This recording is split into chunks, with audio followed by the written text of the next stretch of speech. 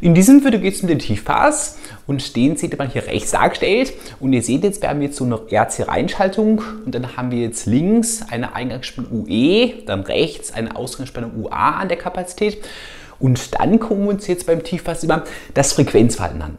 Und jetzt haben wir nämlich immer hier Sinuswechselspannung. Das heißt, sowohl als Eingangsspannung geben wir eine Sinuswechselspannung rein und bekommen dann der, am Ausgang, an der Kapazität auch eine Wechselspannung raus.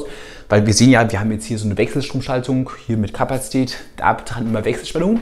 Und dann ist jetzt die Aussage des Tiefpasses, dass wenn wir jetzt tiefe Frequenzen, also dann quasi so geringe Frequenzen als Eingangsspannung UE haben, dann äh, haben wir auch eine hohe Ausgangsspannung. Heißt, wenn zum Beispiel das jetzt hier die Eingangsspannung von 10 Volt wäre, können wir uns vorstellen, hier Amplitude, das von hier bis nach hier, das wäre jetzt 10 Volt. Dann könnte zum Beispiel sein, dass jetzt die Ausgangsspannung UA dann dementsprechend zum Beispiel hier eine Größe von 8 Volt hätte. Das heißt, wir haben ein gutes Übertragungsverhalten und dagegen, wenn wir jetzt hohe Frequenzen haben als Eigenspannung, könnte es so aussehen, dass wenn wir jetzt hier so ein UE haben, das jetzt hier eine hohe Frequenz hat und wir dann hier eine, eine Amplitude, also dann eine Spannung von 10 Volt haben, dann könnte es jetzt hier sein, dass bei einer hohen Frequenz die Ausgangsspannung UA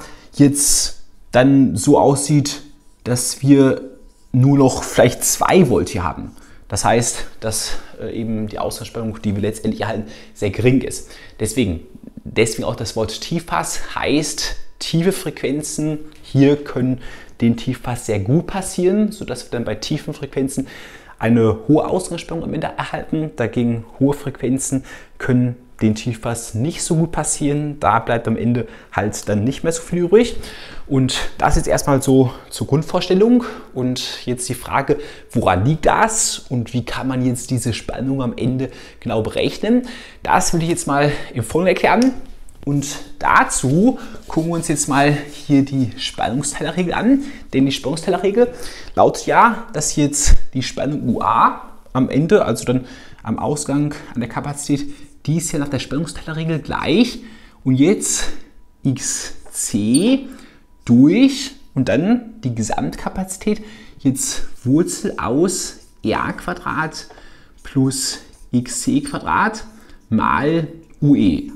Das ist die Spannungsteilerregel. xc nämlich da, wo wir die Ausgangsspannung haben und dann durch Gesamtkapazität. Jetzt wichtig noch, wir betrachten das Ganze jetzt nicht mit komplexen Zahlen, das ist halt der Betrag der Gesamtkapazität. Und jetzt seht ihr rechts noch die zugehörigen Formeln. Und dann eben auch noch hier mit XC, die äh, Formel für die Impedanz der Kapazität ist ja 1 durch Omega C, jetzt ohne J, also ohne komplexe Schreibweise jetzt. Und dann können wir diese Formel jetzt vereinfachen. Und zwar können wir jetzt sagen, dass es auch das gleiche ist wie XC durch und dann jetzt kann man schreiben, dass jetzt hier das ist XC Quadrat mal in Klammern r Quadrat durch xc Quadrat plus 1, denn wir sehen, wir können uns vorstellen, hier ausmultipliziert das mal das ergibt wieder das r Quadrat hier und dann mal der 1 ergibt das xc, hier muss noch ein Quadrat stehen, ergibt das xc Quadrat hier und dann können wir das noch hier weiter vereinfachen, denn wir sehen jetzt hier, wir mal in der Wurzel, das heißt daraus wie ein xc, das xc und xc können wir dann hier quasi wegstreichen. Das heißt, hier muss natürlich noch ein UE hin. Das heißt, wenn wir das wegstreichen und dann das wegstreichen, dann erhalten wir jetzt letztendlich gleich 1 durch und dann Wurzel aus r durch xc plus 1, also das, was hier übrig bleibt, mal UE und dann können wir jetzt hier für xc genau unseren Wert 1 durch Omega c einsetzen, also die allgemeine Formel für die Impedanz der Kapazität hier. Und wenn wir das dann machen, dann erhalten wir letztendlich die Formel 1 durch Wurzel aus r Quadrat Omega Quadrat c Quadrat plus 1 mal UE.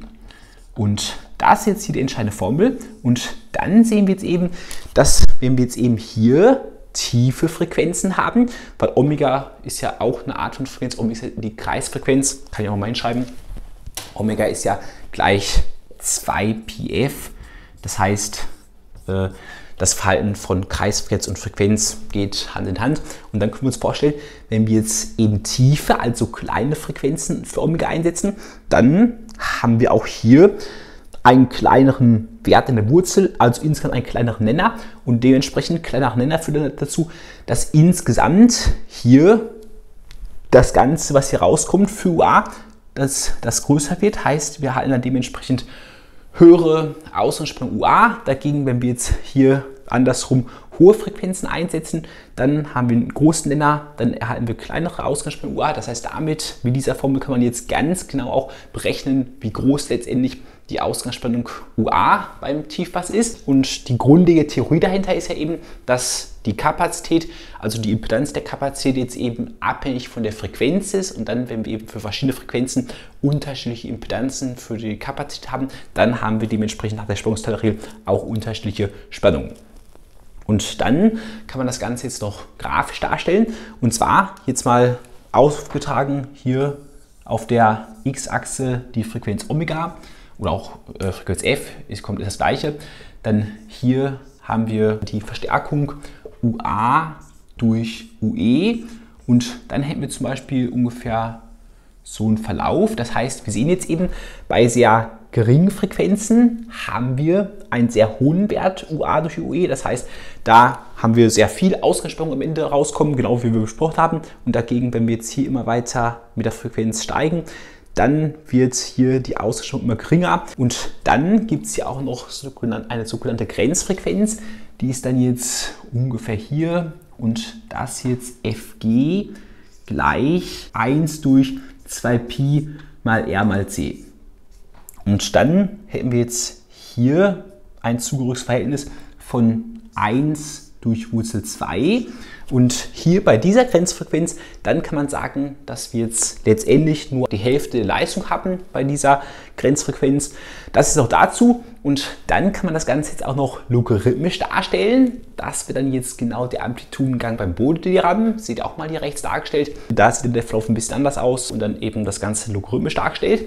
Und das jetzt zur Theorie, jetzt verlinke ich mal hier ein Video zum Hochpass. Das heißt, da haben wir jetzt Kapazität und Widerstand vertauscht. Und ich verlinke jetzt noch hier meinen Mathe Chemie-Kanal. Da mache ich auch Videos. Falls ihr Interesse habt, könnt ihr auch direkt vorbeischauen.